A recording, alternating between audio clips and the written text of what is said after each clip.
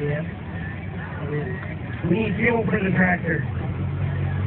Uh-oh. You work.